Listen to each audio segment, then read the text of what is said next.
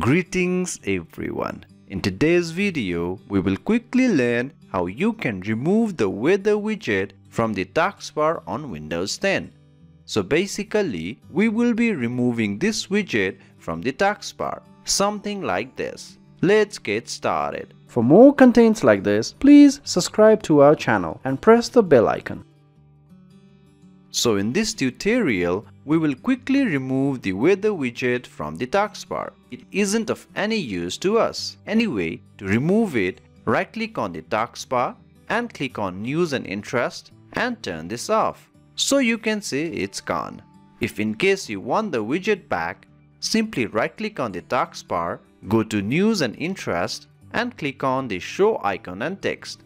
So this widget will be back again. Hope this video is useful. Thank you very much.